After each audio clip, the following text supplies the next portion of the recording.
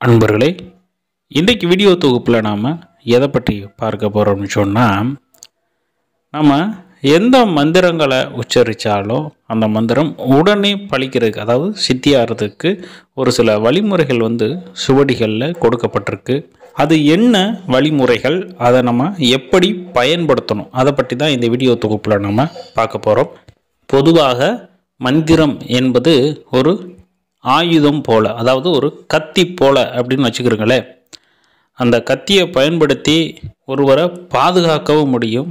அதே கத்தியை பயன்படுத்தி ஒருவரை அழிக்கவும் முடியும். இது வந்து யார் அந்த கத்தியை பிரயோகம் பண்ணுறாங்களோ அவங்களுடைய மனநிலையை பொறுத்தது. அதாவது ஒரு மந்திரத்தை நாம் உச்சரிக்கிறோம்.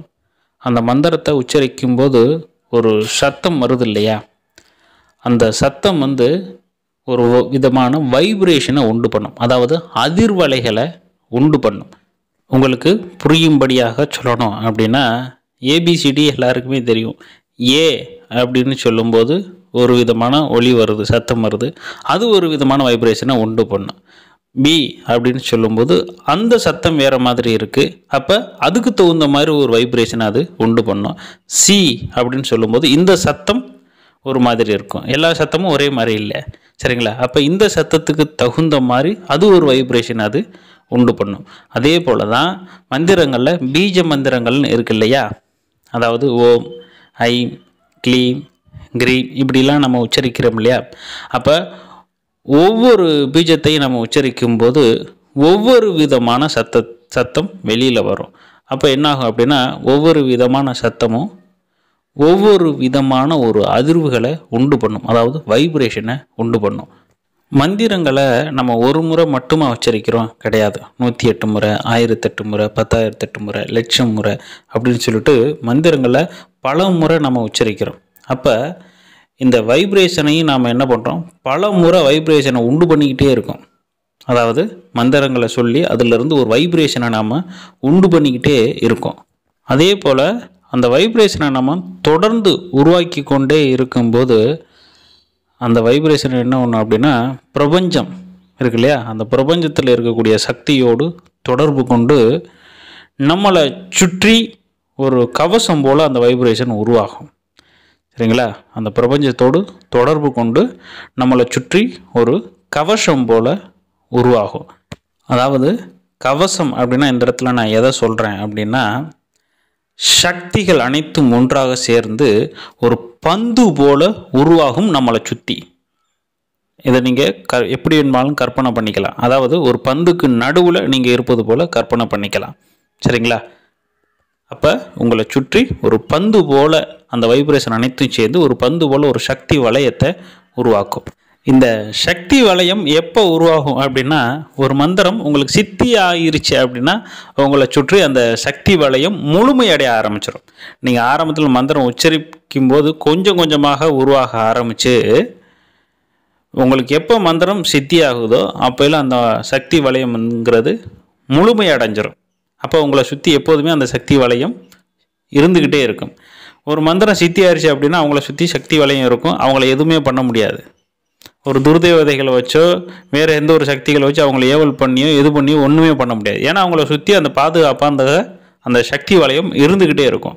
இப்படி உருவாகக்கூடிய இந்த சக்தி வளையங்களுக்கு அதிகப்படியான ஈர்ப்பு சக்தி இருக்கும். அதாவது அதிபயங்கர ஈர்ப்பு சக்தி இருக்கும். அந்த ஈர்ப்பு சக்தி எதை ஈர்க்கும் தெரியுமா?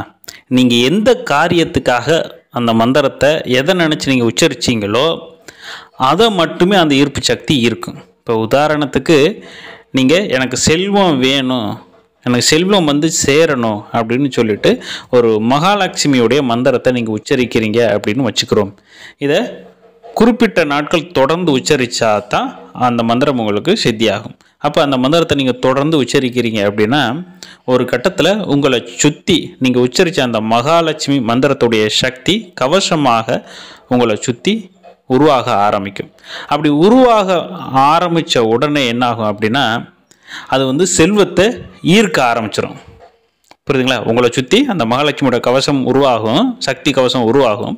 அப்படி உருவாக்கணும் உருவாகணும் பிறகு என்னாகும் அப்படின்னா அது செல்வத்தை ஈர்க்க ஆரம்பிச்சிடும் அப்போ உங்களுக்கு என்னாகும் அப்படின்னா ஏதோ ஒரு வழியில் எல்லாம் லாபம் நீங்கள் செய்யக்கூடிய அனைத்து தொழிலுமே லாபத்தில் இயங்க ஆரம்பிச்சிடும் ஏதோ ஒரு வழியில் செல்வம் வந்து சேர ஆரம்பிச்சிடும் இப்படித்தான் பொதுவாக எல்லா மந்திரங்களுமே வேலை செய்யும்.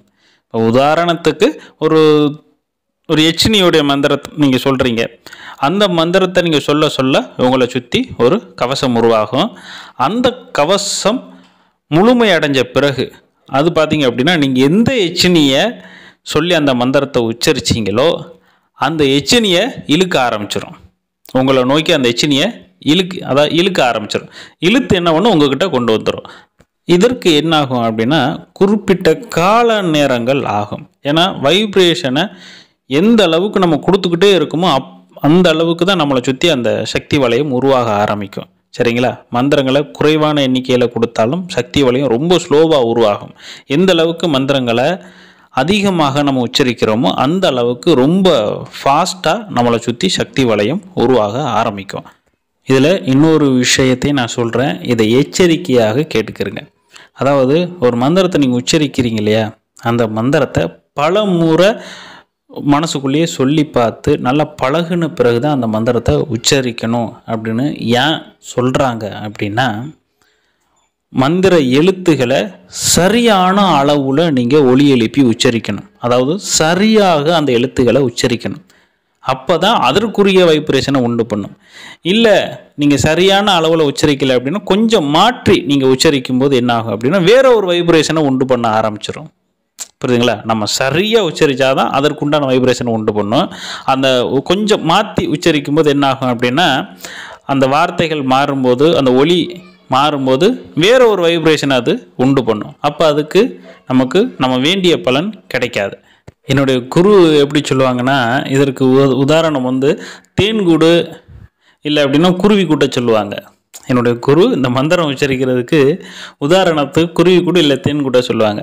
எப்படி சொல்லுவாங்கன்னா கொஞ்சம் கொஞ்சமாக குருவி கொண்டு வந்து அந்த குச்சிகளை ஒன்றா சேர்த்து சேர்த்து சேர்த்து தான் அந்த குருவி கூட உருவாக்கும். உருவான பிறகு தான் அந்த குருவி கூட எதற்காக உருவாக்கப்பட்டதோ அதற்கு அந்த குருவி கூட்டில் முட்டையிட ஆரம்பிக்கும். பாதி கட்டிட்டு முட்டையிடாது. முழுமையாக கொஞ்சம் கொஞ்சமாக குச்சிகளை கொண்டு வந்து நல்லா கூடு மாதிரி கட்டிட்டு அதன் பிறகு தான் அதில் முட்டையிட ஆரம்பிக்கும் அதே போல் தான் மந்திரமும் நீங்கள் கொஞ்சம் கொஞ்சமாக உச்சரிக்க உச்சரிக்க அந்த வைப்ரேஷன் அனைத்தும் ஒன்றாக சேர்ந்து தான் ஒளிவட்டமாக மாறும். அந்த ஒளிவட்டம் தான் அதற்கு உண்டான அந்த சக்திகளை நீங்கள் என்ன நினச்சிங்களோ அதற்கு உண்டான விஷயங்களை ஈர்த்து கொண்டு வந்து உங்கள்கிட்ட கொடுக்கும் அப்படின்னு சொல்லுவாங்க. இன்னும் கூட ஒரு விஷயம் சொல்லுவாங்க.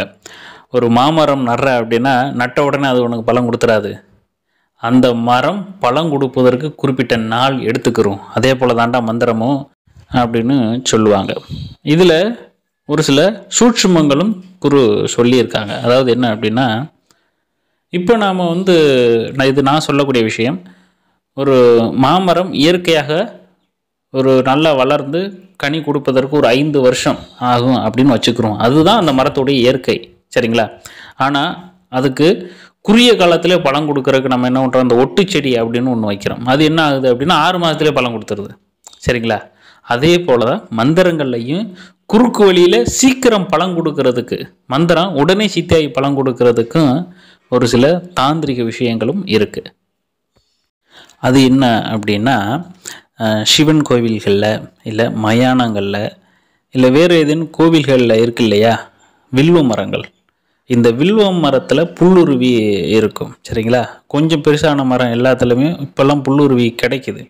இந்த புல்லுருவி மூலிகையை எடுத்துகிட்டு வந்து புல்லுருவி அப்படின்னா அந்த வில்வ மரத்து மேலே ஒட்டு செடி போல் வளரும் சரிங்களா? இதைத்தான் புல்லுருவி அப்படின்னு சொல்கிறது இந்த புல்லுருவி என்ன பண்ணுறீங்க சித்திரம் சித்திரை மாதத்தில் சித்திரை மாதத்தில் ஒரு காலை நேரத்தில் சித்திரை மாதத்தில் ஒரு வெள்ளிக்கிழமை இல்லை அப்படின்னா ஒரு ஞாயிற்றுக்கிழமையில் காலை நேரத்தில் வந்து சூரிய உரையில் பறித்து எடுத்துடுவாங்க எடுத்துகிட்டு வந்து என்ன பண்ணுறீங்க அதை வந்து ஒரு பச்சை கற்பூரம் கொண்டு எரித்து அப்படி அந்த பச்சை கற்பூரம் கொண்டு எரித்த அந்த வில்வ மருத்து புல்லருவியுடைய சாம்பல் அதாவது அந்த கறி துண்டுகளை என்ன பண்ணுறீங்க சுத்தமான நெய் சேர்த்து அத்தர் புணுகு செவ்வாதும் சேர்த்து நல்லா பவுட்ரு போல் அரைச்சி கலக்குனீங்க அப்படின்னா மை போல் கருப்பாக வரும். சரிங்களா?